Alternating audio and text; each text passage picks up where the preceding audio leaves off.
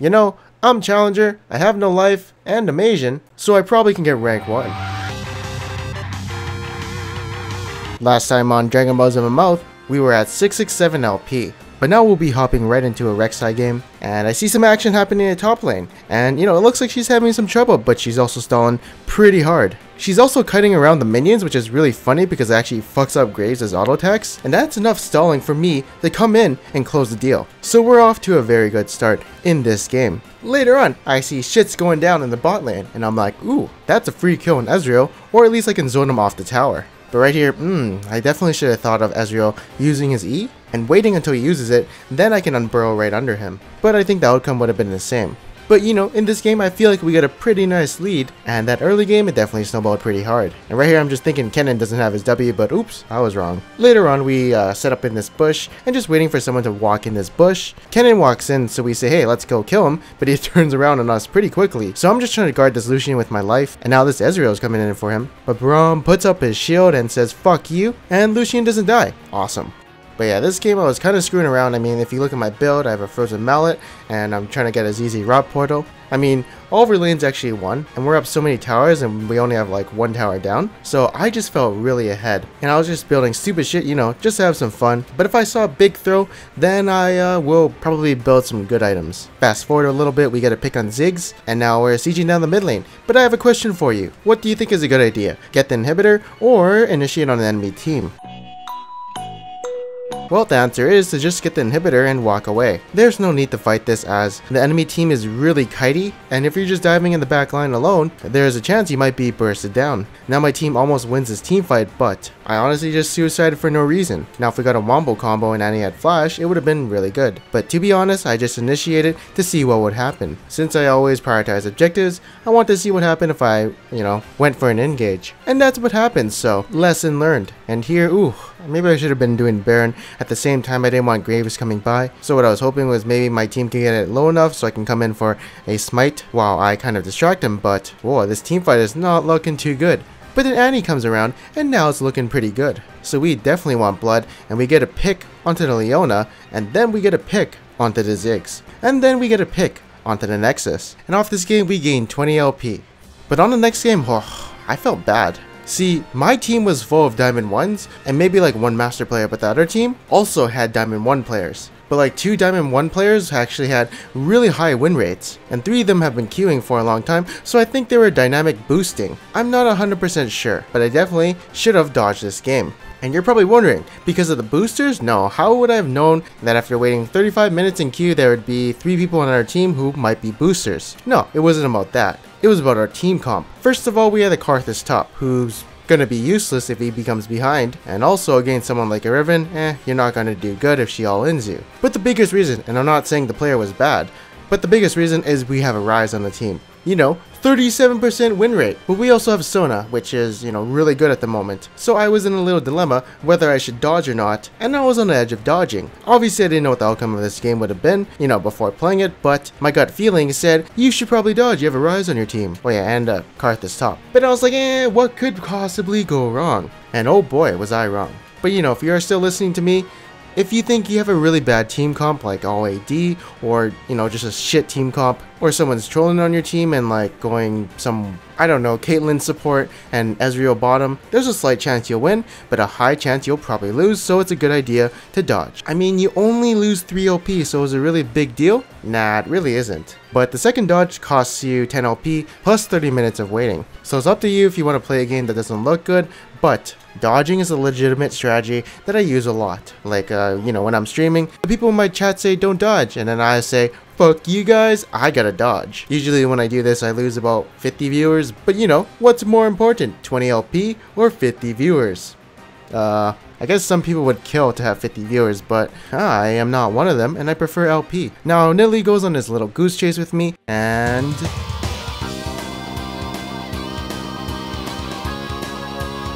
I kill her. That's what happens. But in the early game, I felt like I wasn't applying enough pressure. The Nidalee was doing more work than I was. I was just getting fed free kills, and that's why I have a score that looks like this. But in reality, I know in my mind that I am not doing good right now. Like, I'm not happy with my performance. Like, I feel I could have played the early game a little bit more aggressive. There are some ganks in this game I didn't show, but it was some mechanical errors that I just did. And if I didn't pull off that mechanical error, I would have gotten a kill, but it's not that what's kind of bugging me. Haha, get it? Because I'm playing Kha'Zix but it's uh, more on my personal performance on how I got out jungled. So even though I did good this game, well, apparently did good, I just feel like shit because I got out jungled to be honest. And you might be wondering why I picked Kha'Zix that game? Well, it was cause I was bored. Like, he's a good champion, but I just want to open my champion pool a little bit and having a little bit more fun while having more diversity. Anyways, in this game, we were shitting on the bot lane, and I probably should have gone Spell Thief's Edge, but I was hoping my other side would carry, and then uh, my AD carry does this. Uh, I don't know what the fuck that was, but, uh,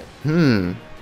Hmm. I don't even flash because I know I'm dead, so yeah, that just happened and I'm pretty fucking pissed because we were doing so good in the laning phase and then we just kind of threw it all away. Now this death is my fault because our AD carry said Nidalee was bottom but I didn't think they could gank us but I did kind of forget about Jhin ultimate which can be used as an initiation tool from long range so we definitely should have backed out of here right when our AD carry said Nidalee was bottom. Now this is going to be my last resort on the Jhin which is going to be an all in but I forgot my R was not on quick cast due to a rumble game that I played earlier in a normal game so I'm not 100% sure if this would have went better and had shot it out quicker, but yeah, two mistakes I did kind of costed us the game, and I definitely went over my settings after that. Later on, we decided to open mid because everyone lost their lane, and we lose 16 LP. But now we're back in the top lane, and I play Kennen. There's a lot more other top laners I'm working on, but let's start right into the Kennen. And oh shit, we already got ganked. Now I'm not used to people flashing into me as Gragas since I don't really play mid lane or top lane too much against the Gragas, but I probably should have expected it since I see Gragas do this all the time. And you see this Q that comes, you can easily dodge it if you knew what Gragas was going to do next.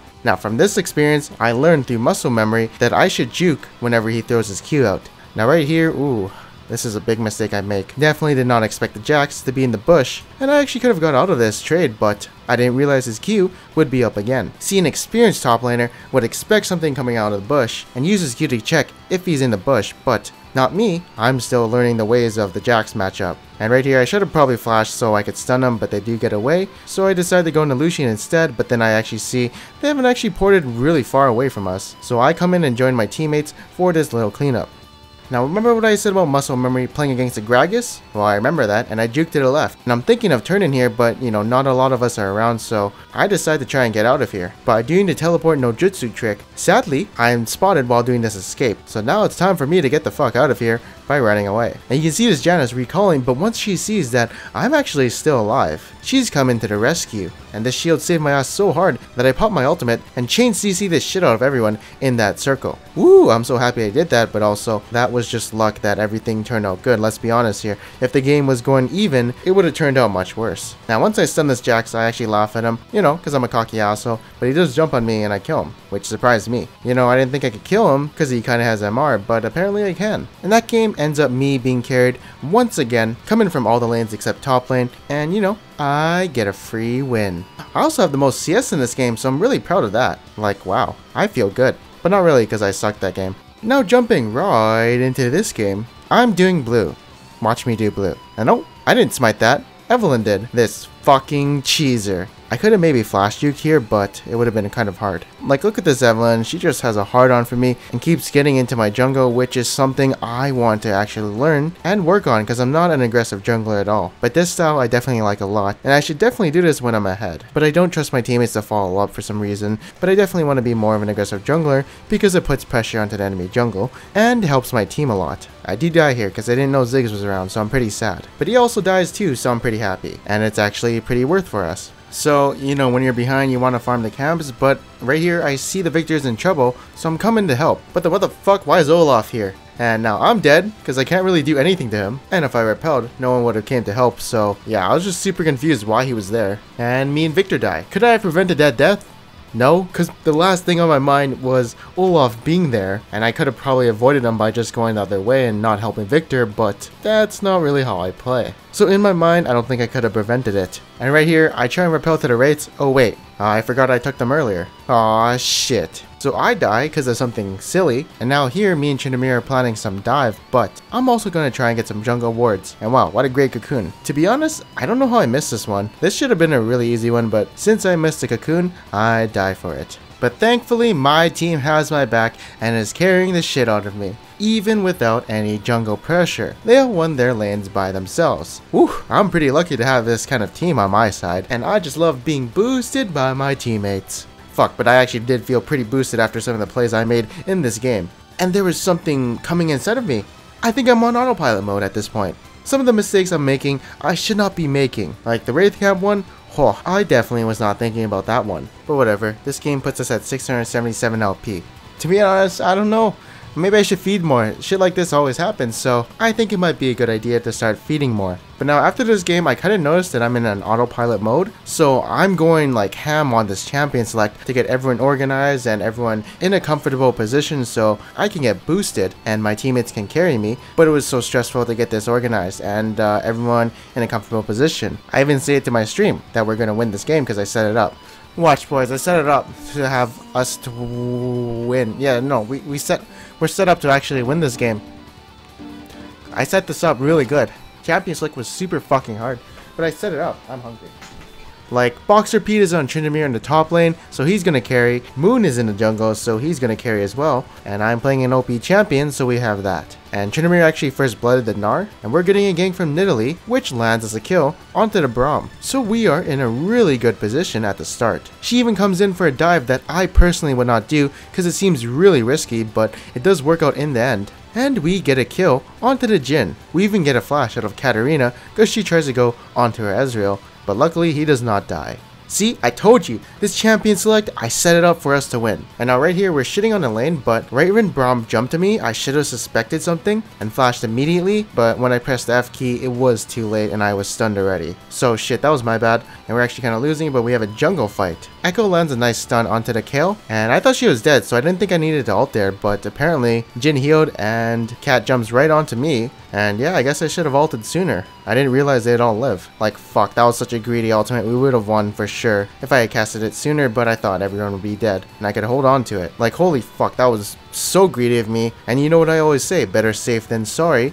Well, I wasn't uh, safe there, and I was definitely really sorry about that one.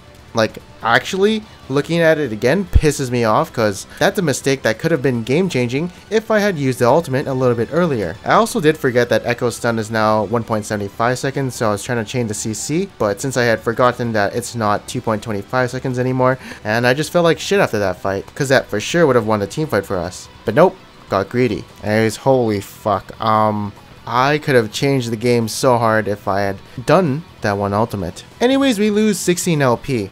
Again, we play Sona, but this game our solo lanes aren't really doing too hot, but also I just want to say that their whole team is AD, so I kind of have an excuse to go Ancient Coin this game, just because it builds into a Raptor Cloak, so I like the armor. And I also go Ancient Coin if I want to be passive. Usually whenever I go aggressive with a Spell Thieves Edge, I get destroyed.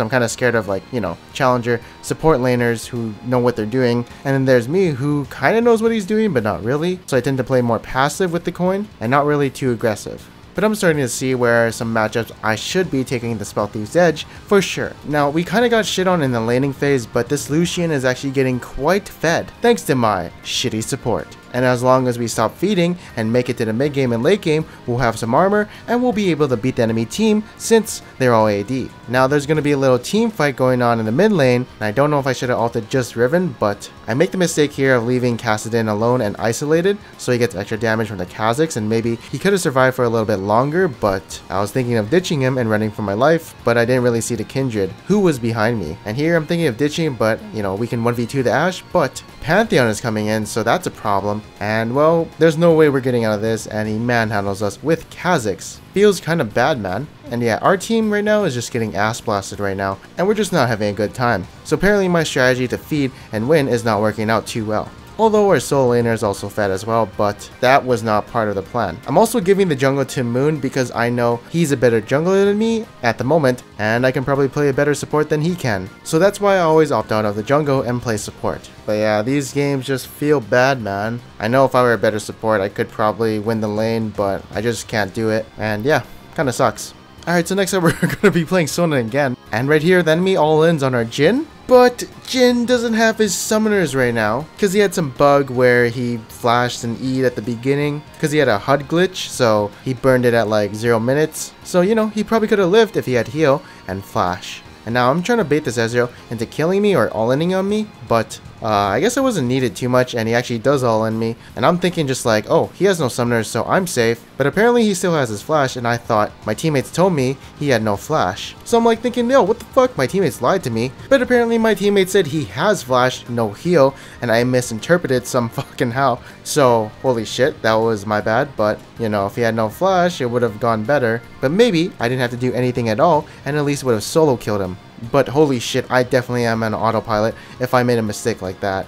And wow, we actually get baited by the Ezreal jumping in on us. And yeah, honestly, I'm learning that when the enemies go aggressive, their jungler is probably around. And maybe we should stop going for the kill and just back off. But here, Ezreal takes too much tower shots, and now Janna is cock blocking us, and I can't really do anything here, but Ezreal steps forward, and I accidentally take the kill, I think. But now I'm setting up for a slow power chord, so Elise can get a catch onto the Janna. And luckily, I don't get the kill, but Elise gets it. Now remember what I said about people being aggressive? It means they're baiting something. So I say, hey, let's go on to this Ezreal. And we kill him, thankfully, cause he didn't dodge Jhin's W. But he almost baited us for sure. You can see a lot of people are coming in into the bot lane. Luckily, we bait him into our jungler. You can see these games are just basically baiting people into stupid fights. That's why when you see high elo AD carries hold their flash or heal, it's because they want to bait people into overextending for them. Now if you haven't noticed already, the enemy team is full of magic damage dealers. This Zac got really far in lane, so he's a really big beast right now, since he has a lot of magic resist, but also, if you already haven't noticed, we're also all magic damage, except Jhin. But yeah, this game, since Ezreal isn't doing so hot, I'm going to be building a lot of magic resist, as well as my teammates. But yeah, our team is just getting really far ahead in this game right now, and I'm being carried yet again, but I'm not feeding this time, well, not too much, so maybe this new plan of mine where I don't feed is a better plan. Anyways, our team decides to do the Baron. I'm just over here trying to zone off the Nidalee from killing the Baron by using my ultimate. But now a team fight starts and I'm on the other side of the wall. Although I'm not really taking too much damage since I have a lot of magic resist. And holy shit, this Zac went so deep and actually dies, but he has his passive, so he's gonna live and these blobs are coming together really fast, so he flashes out, and I'm trying to save him any way I can. I also remember I have Mikael's, so I do that, and then I decide it's time to body block whatever skill shots are coming, oh, and I do save the day. So yeah, Zac is really massive right now, and also really tanky, especially with the support of a Sona, it works out a bit. And now, since we have the Baron, we go for a little Baron push. We're kind of doing whatever we want because we're so far ahead. And yeah, everyone on the enemy team is dying, and Diana tries to go on me, but little did she know, my W is up every 4 seconds, so I basically got infinite heals and shields. But yeah, this game feels good man to be carried by my teammates, and now we're at 659 LP, putting us at rank 64. But I do apologize that this episode is really long, and I don't really intend it that way, but it just happens like that. But anyways, on the next episode of Dragon Ball Z, we have a lot of LCS players such as Bjergsen, Meteos, Impact, Aphromoo, Alex Ich, and apparently the Gangplank is Darshan. So make sure to watch that episode when it comes out, and if you guys did like this video, make sure to leave a like, and if you didn't, make sure to subscribe. Anyways, I am Pants are Dragon, and I'll see you guys next time.